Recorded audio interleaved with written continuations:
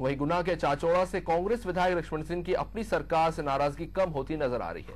विधायक लक्ष्मण सिंह ने एक बार फिर अपनी सरकार को नसीहत दे डाली उन्होंने सीएम कमलनाथ पर हमला बोलते हुए कहा कि मजबूर नहीं, मज़बूत मुख्यमंत्री बनकर दिखाइए। साथ उन्होंने कहा है कि सरकार चलाने पर ध्यान दे, सरकार बचाने पर नहीं।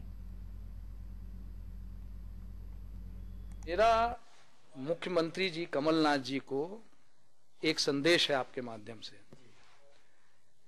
कि आप मज़बूत मुख्यमंत्री बन के काम करिए, मजबूर मुख्यमंत्री बन के काम मत करिए। अभी तक जो प्रयास हो रहे हैं, सरकार बचाओ बचाओ बचाओ, अब प्रयास करिए सरकार चलाने के लिए। सरकार चले, अभी नीचे दिख नहीं रही है सरकार। किसी क्षेत्र में देख लीजिए, आप काम नहीं दिख रहे हैं। मुख्यमंत्री जी से मेरा यही सुझाव है। कि सरकार चलाने में ज़्यादा ध्यान दें बचाने में कम दें